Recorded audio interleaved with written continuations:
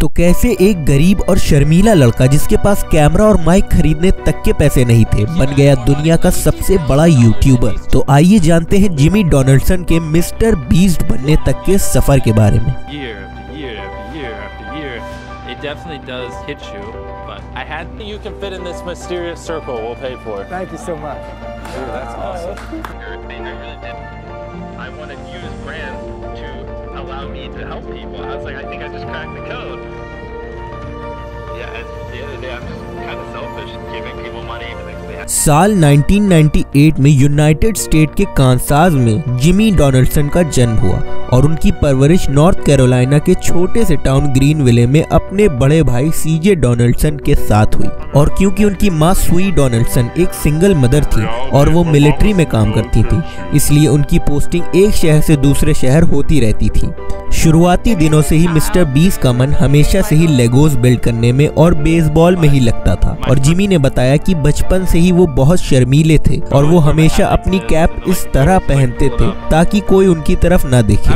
अपनी शर्म की वजह से ही जिमी बचपन से ही घर में सिर्फ़ स्पोर्ट शोज़ और यूट्यूब पर वीडियोस देखना ही पसंद करते थे। अपने दोस्त क्रिस टाइसन के साथ। और एक दिन अचानक से ही जिमी ने क्रिस को ये बताया कि वो यूट्यूब चैनल बनाना चाहते हैं, क्योंकि उनके एक famous YouTube creator Woody's gamer tech ने अपनी जॉब छोड़कर फुल टाइम यूट्यूब पर काम करना शुरू कर दिया। और वो भी तब, जब किसी को ये तक नहीं पता था कि आप यूट्यूब से पैसा भी कमा सकते हैं। जिमी इस बात से काफ़ी ज़्यादा प्रभावित हुए और उन्होंने अपना खुद का यूट्यूब चैनल खोलने की ठान ली और जिमी को अपने चैनल का नाम मिला एक्सबॉक्स गेम खेलते वक्त। जब अचानक से ही नाम की लिस्ट में से उन्हें एक नाम दिखा मिस्टर बीस्ट उन्हें ये नाम काफ़ी ज़्यादा पसंद आया इसलिए जिमी ने अपने चैनल का नाम मिस्टर बीस्ट रख लिया। शुरुआती दिनों में मिस्टर बीस्ट ने जब उनकी उम्र तकरीबन 13-14 साल की थी अपने चैनल पर गेमिंग वीडियो स्ट्रीम करना शुरू किया जिसमें वो अक्सर दूसरे यूट्यूबर्स के बारे में बताते थे कि वो कितना कमाते हैं YouTube million views per day, which is around thirteen, fourteen thousand dollars a day.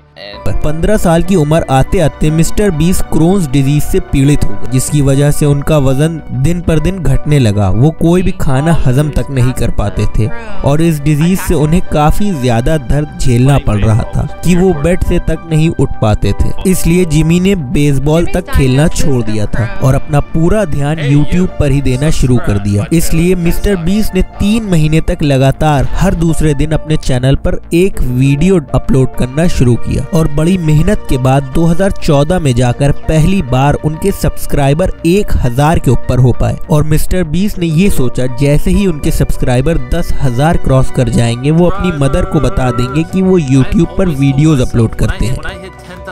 When I hit 10,000 subscribers.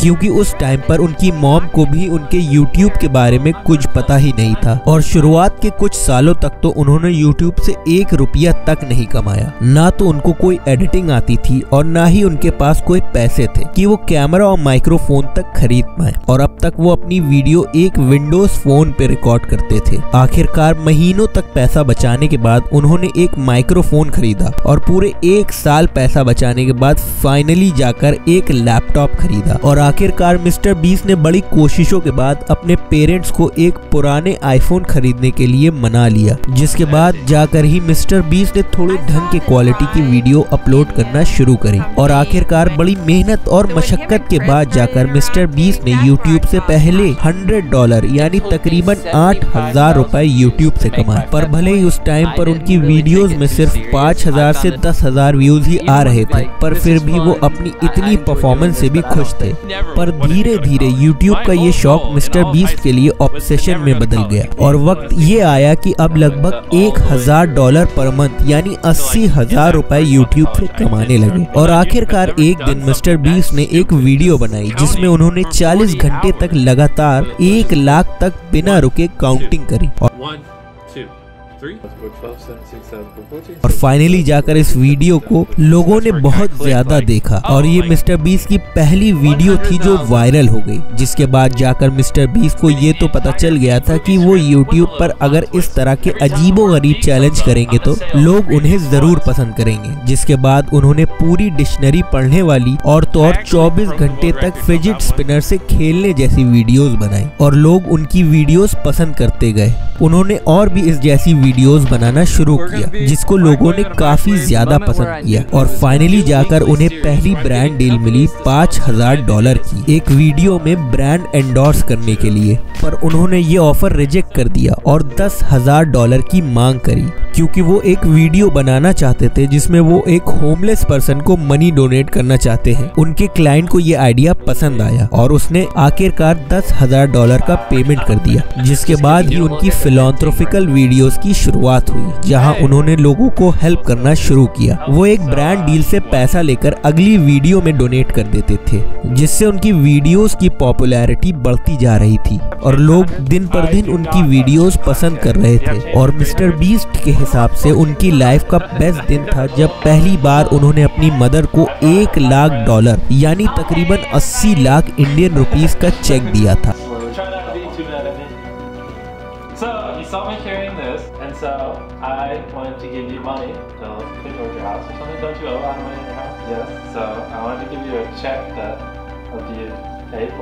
और धीरे धीरे करके उनके ये डोनेशन वाले वीडियोस की वैल्यू बढ़ती गई क्योंकि अब उनको लोगों की मदद करना अच्छा लगने लगा था। और एक दिन मिस्टर बीस को एक मिलियन ट्रीज प्लांट करने का आइडिया आया और काफ़ी कंपनीज़ और फार्मर से बात करने के बाद उन्हें ये पता चला कि ये करना नामुमकिन है और एक मिलियन ट्रीज प्लांट करना बहुत बड़ा नंबर है। पर मिस्टर बीस की अनूठी सोच और हर इम्पॉसिबल चीज़ को पॉसिबल बनाने की ललक ही ने इस एक मिलियन ट्रीज को अब और इम्पॉसिबल 20 मिलियन ट्रीज प्लान करने के आइडिया में बदल दिया था। इसलिए मिस्टर बीस ने अपने ट्विटर अकाउंट पर अपने 20 मिलियन सब्सक्राइबर पूरे होने की खुशी में पूरे 20 मिलियन ट्रीज प्लान करने का फैसला किया जिसके बाद जाकर उनकी मुलाकात नासा और एप्पल के इंजीनियर मार्क रॉबर से हुई। उसके बाद दोनों लोगों ने मिलकर इस प्रोजेक्ट में काम करना शुरू किया और एक संस्था आर्बर डे फाउंडेशन से जाकर मिले, जिन्होंने सैकड़ों मिलियन ट्रीज पहले ही से प्लांट करे हुए हैं, जिसके बाद मिस्टर बीस्ट के लिए एक बड़ी प्रॉब्लम थी 20 मिलियन डॉलर रेस करना, सिर्फ़ दो महीने के अंदर। तो उन्होंने दूसरे यूट्यूबर से हेल्प मांगनी शुरू करी, जिसमें उन्होंने वन डॉलर पर ट्री और टीम ट्रीज के नाम से कैंपेन चलाया। और दूसरे फ़ेमस यूट्यूबर ने भी इस अच्छे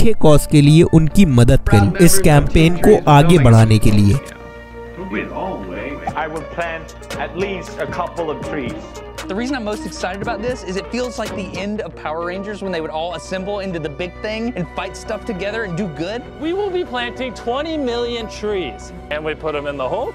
और यहाँ तक कि एलॉन मस्क ने भी पूरे एक मिलियन डॉलर इस कैंपेन के लिए डोनेट किए। और आखिरकार दो महीने के अंदर ही 20 मिलियन डॉलर रेस करने का इतना इम्पॉसिबल गोल भी मिस्टर बीस ने पूरा करके दिखाया। और साल आया 2020 का, जब कोविड 19 से पूरी दुनिया में लॉकडाउन हो गया। और जब पूरी दुनिया कोरोना वायरस से परेशान थी और खाने की भी शॉर्टेज हर जगह थी तो उस टाइम पर मिस्टर बीस ने जाके दो मिलियन मील्स डोनेट करी थी। पर मिस्टर बीस यही नहीं रुके। उन्होंने दुनिया का फ्री रेस्टोरेंट खोला जिसमें कोई भी कभी भी जाकर कुछ भी खाना बिना पैसों के ही खा सकता है। जिसके बाद जाकर ही मिस्टर बीस ने एक और चैनल मिस्टर बीस फिलोंथ्रफी नाम से खोला। इस चैनल के एड रेवेन्यू और ब्रांड डील्स का पूरा पैसा मिस्टर बीस डोनेट कर देते हैं। और साल आया 2023 का जब पूरी दुनिया में मिस्टर बीस की चर्चा होने लगी। जब उन्होंने एक हज़ार लोग जो देख नहीं पाते उनका ऑपरेशन करवाया ताकि वो दोबारा देख सके। जिस काम के बाद मिस्टर बीस को पूरी दुनिया में सराहा गया। शायद यही वजह है कि इस टाइम पर मिस्टर बीस के पास 132 मिलियन से भी ज़्यादा सब्सक्राइबर हैं यूट्यूब पर। इस टाइम पर मिस्टर बीस दुनिया के सबसे बड़े सोलो यूट्यूबर हैं। साथ ही में mister beast mister beast react mister beast philanthropy जैसे और भी 10 से ज़्यादा यूट्यूब चैनल के ओनर हैं। अब बस इंतज़ार इस चीज़ का है कि आगे आने वाले सालों में मिस्टर बीस क्या क्या कमाल करके दिखाते हैं। और भी ऐसी वीडियो देखने के लिए हमारे चैनल को